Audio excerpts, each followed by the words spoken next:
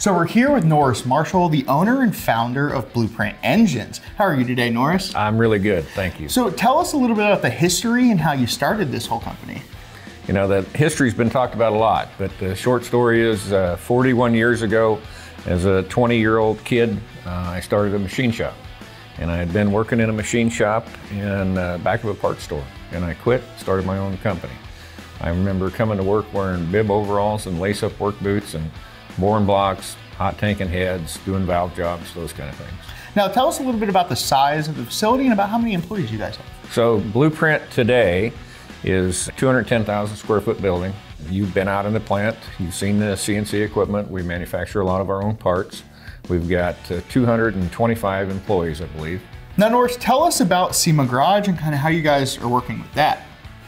Well, Justin, I would tell you that the SEMA Garage has been such a positive experience for our company. It's one of the reasons I decided to run for the SEMA board. I, am really impressed with a lot of things that SEMA does. And the garage has been uh, a very personal experience for us because we've been, been interacting with them for several years now on programs and projects.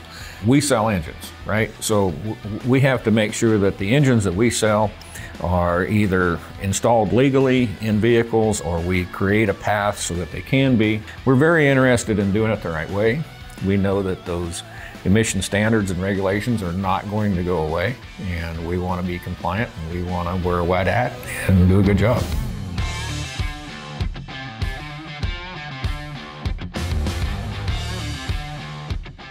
Norris, we're walking through your guys' new expansion, this beautiful 60,000 square foot warehouse, and we see some, you know, regular name brand parts, but also some blueprint branded stuff. Tell us a little bit about that and why. Justin, here's the deal. When we started, we did like every other small engine manufacturer. We bought branded parts that we could buy through your your place or buy direct from a manufacturer. We bought our crankshafts from the crankshaft guys that are in the United States, pistons from the piston guys that are in the United States, and that worked out fine. And that's that's super fine for small volume. But our volumes are high enough that we got to the point where we really wanted our own part. Let's take a crankshaft for example. We'll design the crankshaft. We'll design the counterweights of the crankshaft. We'll design that so that it takes the least amount of work when we balance it. Maybe the crank that we've been buying takes a lot of work to balance, or maybe it takes some heavy metal. So we'll design the features in that we want. So we take our design out into the global marketplace and try to work with tier one automotive manufacturers to make that crank. So we're not just buying somebody's crank off the shelf. You've built 400,000 engines, so you guys certainly have a, a, a lot of knowledge, and there's a right way to do this. That's exactly right.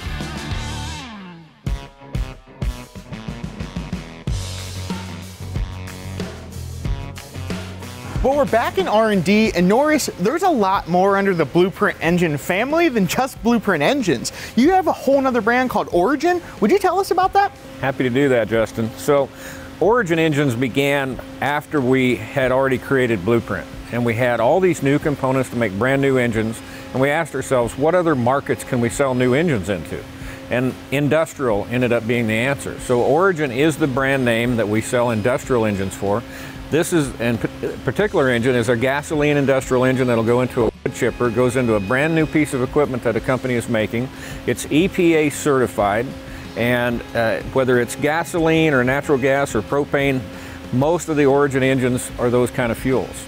We do all the testing here. We've got an emissions bench, we've got the three uh, production dynos, we do durability testing. So we're bringing new engines to markets that are using them in brand new equipment that are being made.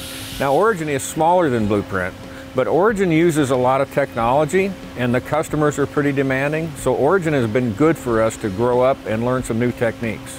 Now, I know there's something cool behind us, and this thing has kind of broken the internet. This is the infamous four cylinder with an LS head on it. Do you want to tell us about this little sweet number here? So, yeah, we took this engine, uh, a version of it, to PRI, uh, just on a kind of a fluke to see if there was any interest in a four cylinder engine.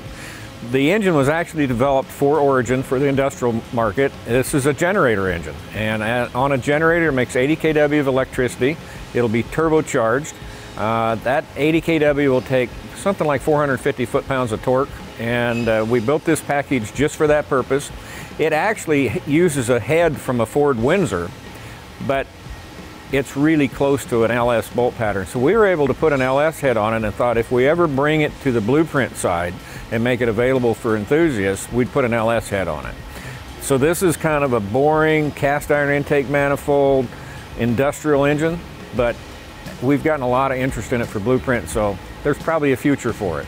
Yeah, man, and I hope there is because I can think of a hundred things that I want to shove this thing in. Now, there is no replacement for displacement, and I couldn't help but notice this massive engine sitting behind us. So, can we walk over there and check that thing out? Let's go look at it. Now, Norris, tell me about this behemoth. So, Justin, this is the only engine that we work on that we don't actually make ourselves. This is a diesel engine that we buy out of India. We actually partnered with the Indian company to convert it from diesel to natural gas or gasoline or propane. So this is a V12. It's about 1,500 cubic inches.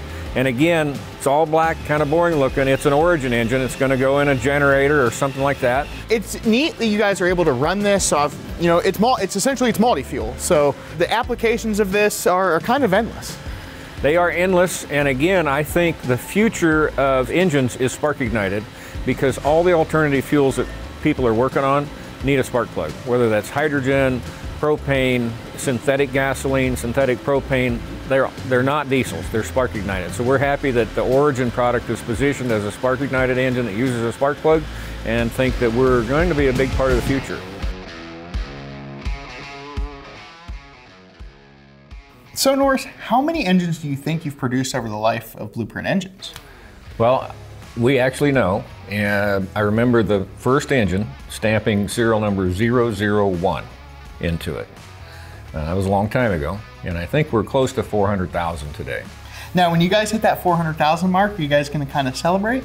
You know, much to my employee chagrin, we don't celebrate a lot. We'll pause and go, yay, and then we'll get back to work. With Blueprint being an ever growing company, do you guys have plans for more expansion?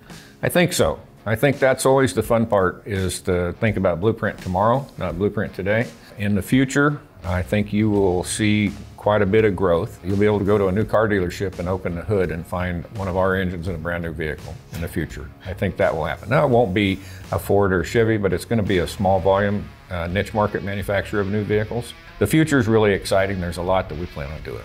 I really appreciate you taking the time, Norris, to give us a company interview and telling us some cool stories. And like I, said, I can't wait to see what you guys do in the coming years. Thank you very much. It's yep. been great to talk to you, Justin.